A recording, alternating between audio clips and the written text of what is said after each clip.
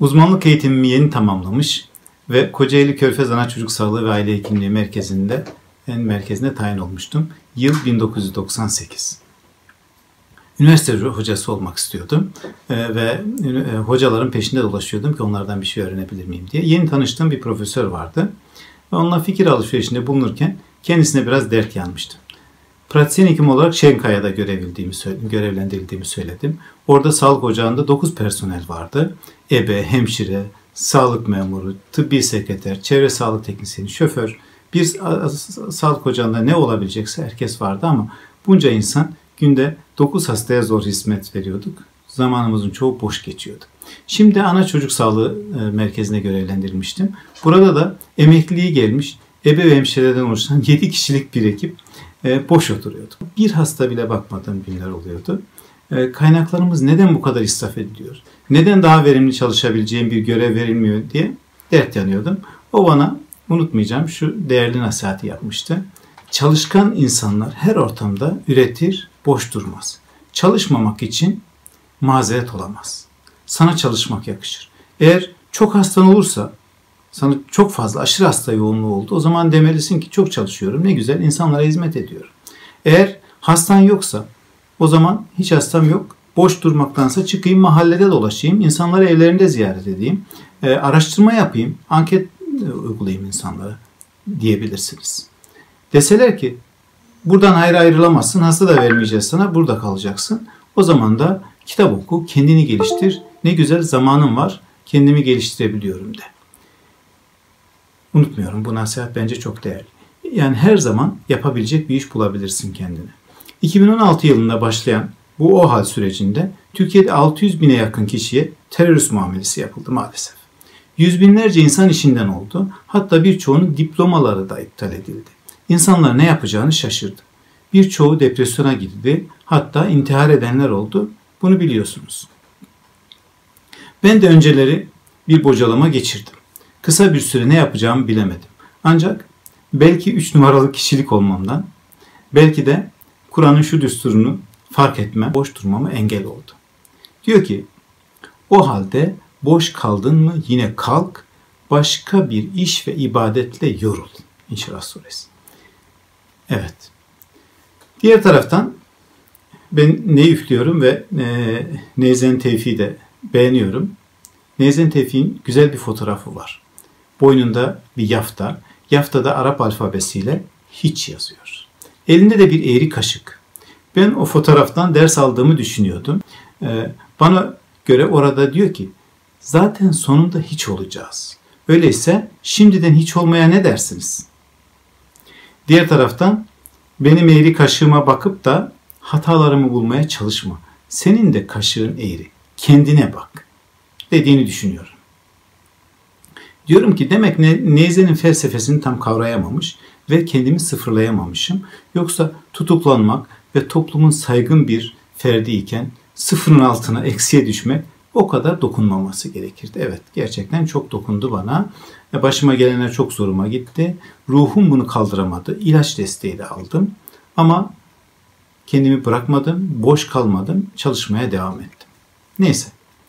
Demem o ki insan kendini sıfırlayabilirse her şeyi yeniden yapabilir, yeniden başlayabilir. Önce sıfırlanmak lazım. Bazen de kader sizi sıfırlıyor işte. Bizim durumumuzda olduğu gibi kendi isteğimizle olmadı. Bu dönemde yüz binler hatta aileleriyle birlikte milyonlarca insan sıfırlandı. Hayata yeniden başladılar. Hayata yeniden başlamaya hazır olmalı. Hele hele yaşlandım, ben sonuna geldim hiç dememeli bir yaşlıyı eleştiriyorlar. Diyorlar ki çok çalışıyorsun artık biraz dinlen diye. O da şöyle cevap vermişti. Evladım sen hiç maraton koşucusunun koşunun son düzlüğüne girdiğinde yavaşladığını gördün mü? Ben yolun sonuna yaklaşmışım. Esas şimdi koşmam lazım. Demek ne olursa olsun sıfırdan başlayabilmeli, yapacak işler bulmalı, kendine, ailesine, çevresine ve insanlığa faydalı olmaya çalışmalı. Nitekim Tanıdığım insanların çoğu da bunu yapıyor gerçekten. Ben böyle gözlemliyorum.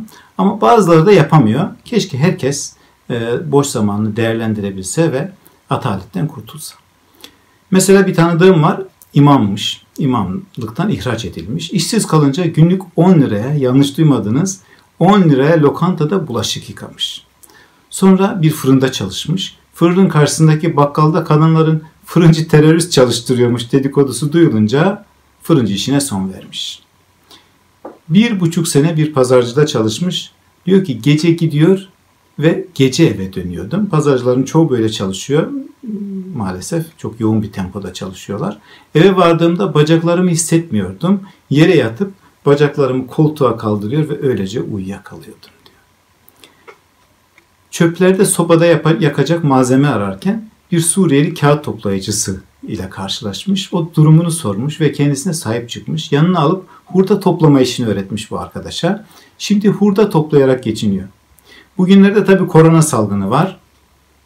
E, bu salgın nedeni hurda işi de belki durma noktasına gelecek. Dedim ki ne yapacaksın? Dedi ki Allah başka bir Suriyeli gönderir yardımıma. Hiç şüphem yok. Yani sürekli çalışıp bir taraftan da tevekkül etmek lazım.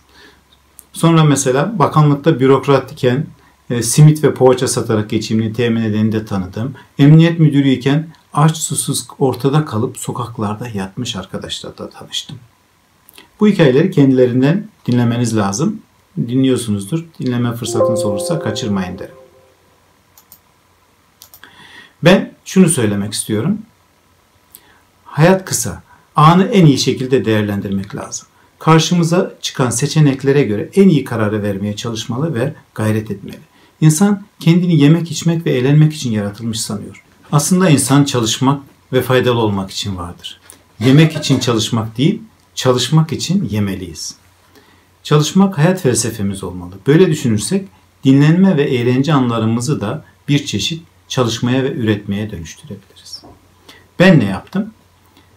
Cezaevinde zaten yapabileceğiniz şeyler sınırlı. Okumak, ibadet etmek, spor yapmak ve yazmak yapılabilecek başlıca işler. Ben de öyle yaptım.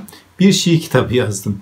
Şair olduğumdan değil elbette, mecburiyetten yazma ihtiyacı hissettim. Neyse beğeninize sunarım basıldığı zaman. Yakında bastırmayı düşünüyorum. Hatıralarımı yazdım sonra.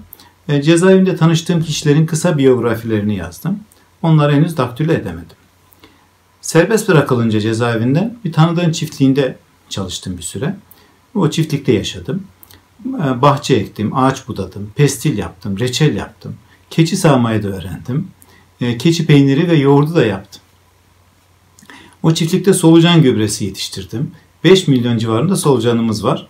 Şimdi solucanlar hediye edecek bir bakıcı arıyorum aslında.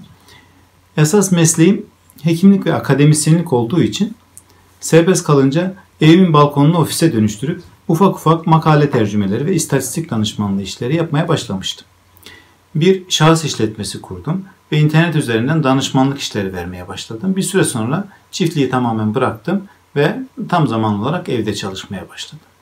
Şimdi zaten virüs salgını var. Kimse evden çıkamıyor. Çıkmaması da gerekiyor. Belki birkaç ay daha böyle devam edecek. Ben zaten sıfırlanmış olduğum için evde çalışmak zoruma gitmedi. Ailemle birlikteyim. Yapacak işim var. İnsanlar yaptıklarıma değer veriyor ve benden hizmet almak istiyor. Ben de zamanımın çoğunu bilgisayar başında yazı yazarak geçiriyorum.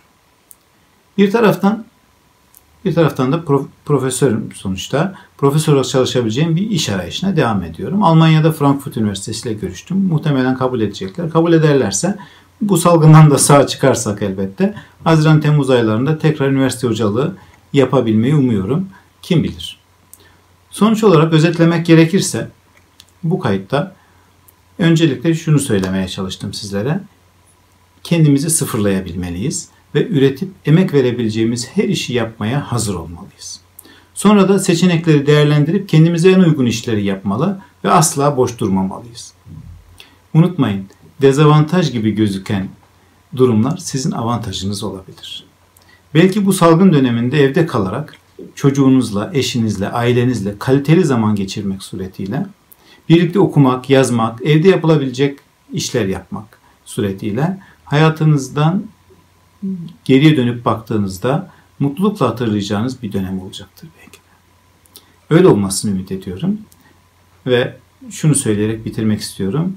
Evde kalın ama boş kalmayın.